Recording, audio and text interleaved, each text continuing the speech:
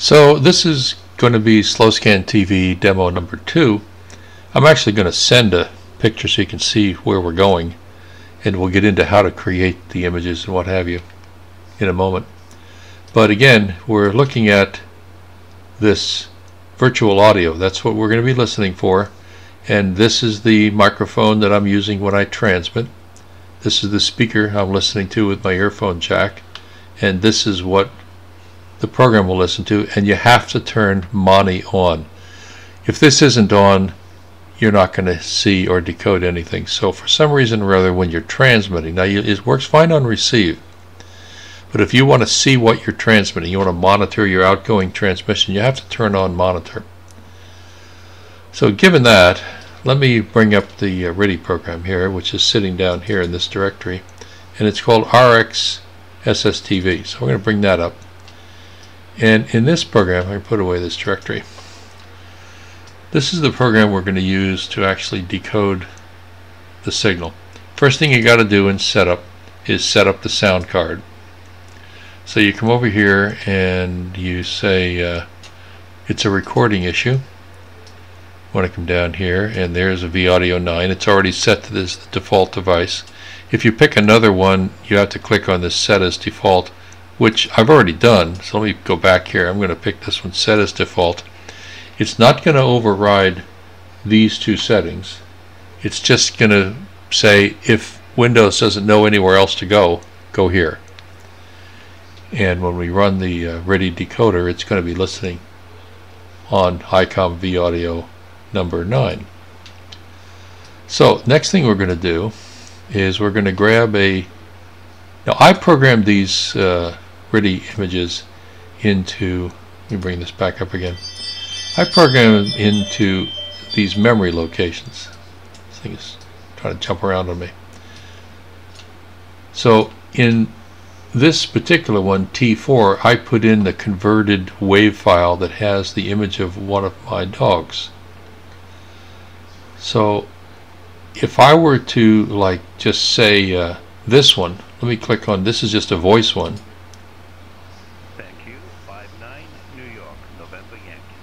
It might be kind of quiet. Let me see if I can turn the volume up a little bit. I guess it is up quite a ways. But here's going to be a TV signal. So let me see if this actually works. Well, there we go. This program is picking up the signal that I'm transmitting. Now, I am using the lowest possible power on here. This is set down to RF power, virtually nothing. I don't have any compression on or anything. Uh, I suppose I could, but I don't and uh, this is the image as it's being sent and if someone else was listening to me they would see my dog come up and at the end there's going to be a FSK listen for it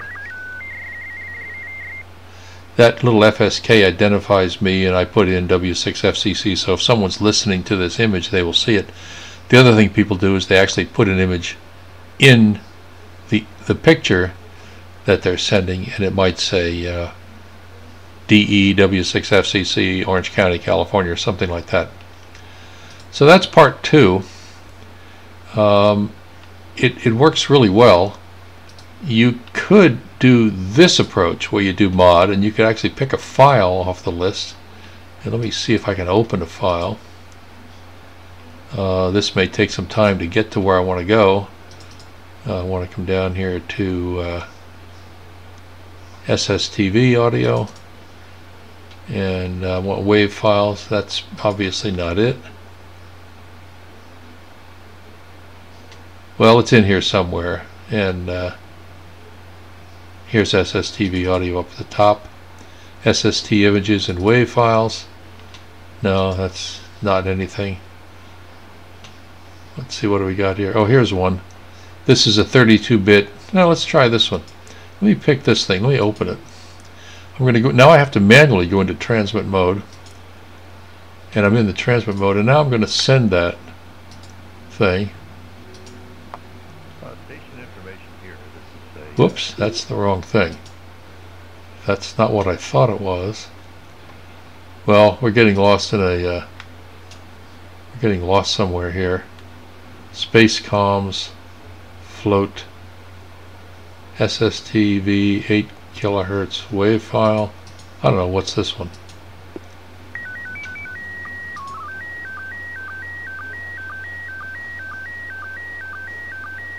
It'd be nice if I'd labeled these. What do you know? I guess I better label this space comms because that's what it is. These are not bad looking images. And you can see here what it's sending. It's, uh, I believe most of these are supposed to be sent in upper sideband. I don't know if I'm in upper sideband or lower sideband. Let's say I'm in lower sideband. I probably should be in upper sideband and I should be on a frequency that is popular. But I'm not. And this is a fairly slow transmitting image. The other one was quite fast. This one's kind of slow. But uh, this is slow scan TV. I think that first word tells the story. Getting a little bit warbly sounding. Oh, this must be a sort of an extra image. Oh, look at that. It's the Earth. So if you like to watch grass grow or things like that, a big image like this might take forever to send. This one's really slow compared to my dog. And this program is doing a good job. It's picking it up in Robot 36 mode. It automatically detected that. And uh, I don't even know where this came from. But this is another image that was found out on the internet.